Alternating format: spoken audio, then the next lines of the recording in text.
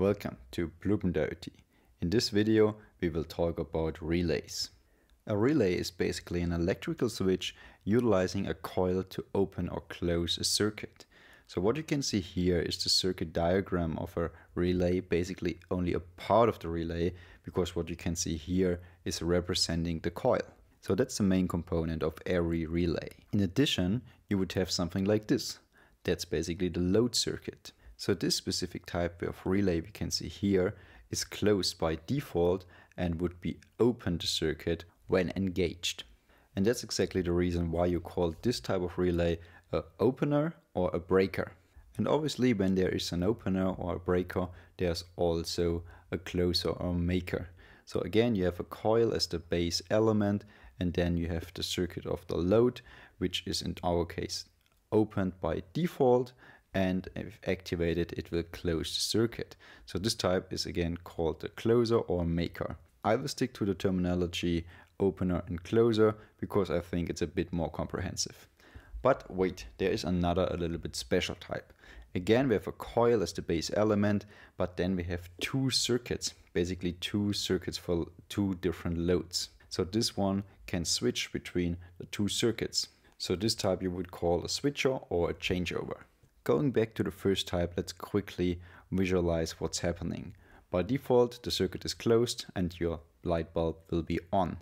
If you activate, if you engage the relay, it will open the circuit and break the circuit and obviously the light bulb will turn off. For the closer or maker, you again have the light bulb which is deactivated by default and if you engage the relay, it will close the circuit and activate your load. For the changeover, it's a bit different. By default, the left-hand side circuit is engaged and your light bulb on the left-hand side is on.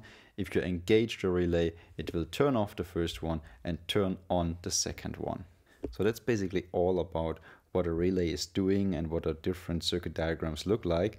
But let's dive right into how the relay actually works on the inside. Of course, there are different types and manufacturers, but this is just a general representation of what's happening inside a relay. As you can see here, we have the coil on the left-hand side and we have the so-called pallet in the middle, which is basically the actual switch. And on the right-hand side, we have the circuit that's to be closed. So when wiring up all of this, you would have the load circuit on the right-hand side, in our case again a light bulb as the load, and on the left-hand side you would have the engagement circuit or let's say the activation circuit.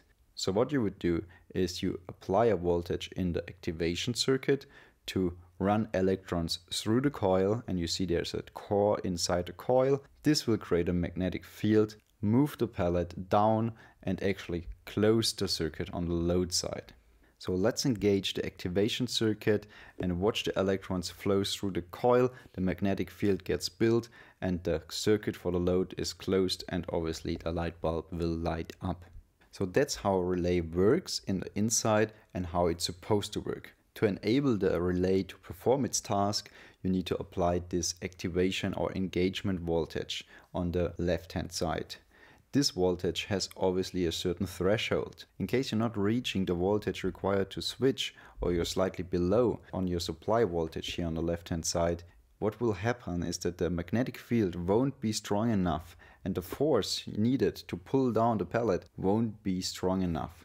So what will happen? It's either doing nothing or what's even worse, you have a voltage that's like in between, like not strong enough to properly close, but strong enough to pull a little and you will have this little jiggling of your relay. So it will close, open, close, open, close, open in a very high frequency. So what you can't do is use a relay like a transistor to open or close something slightly. It will be either open or close, or it will toggle between rapidly. To understand why this toggling or jiggling is obviously not good, and also why the lifetime of a relay is actually limited, we need to take a closer look on what's actually happening on the load circuit. So let's take a closer look on those two contacts here on the right hand side.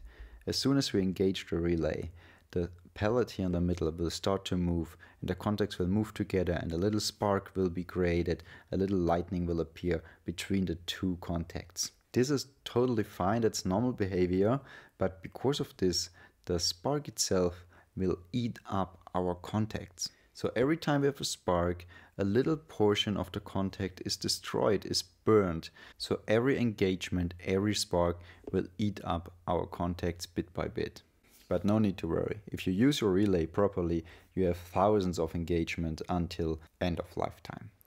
Before we sum up this video, let's take a quick look on what the relay is actually used for normally. Obviously there's the functionality to close circuits, open them, or use it as a changeover. But another use case for the relay could be gaining galvanic isolation or electrical isolation. So if you think about the load circuit here on the right hand side and the supply circuit on the left hand side is basically not connected directly. So this little pellet there in the middle is obviously non-metal or non-conductive material. So there is no electrical connection between the supply circuit and the load circuit, which is basically the definition of galvanic isolation. Obviously you want to do this if your load circuit is a big load, a heavy load that you cannot engage directly with your supply voltage or maybe you have coils like motors or stuff like this in your load circuit which could create a kickback voltage into your supply voltage which may destroy your supply voltage or your supply actually which could be a microcontroller a pin of an Arduino or Raspberry Pi or whatsoever. If you would like to learn more about the use cases of relays and why you do it and what's actually the benefit compared to transistors and so on, drop a comment below and let us know. So thanks for watching until the end and please make sure to give a thumbs up so the video gets recommended to other people like you who want to learn about electrical engineering and electronics or IoT through videos. See you next time.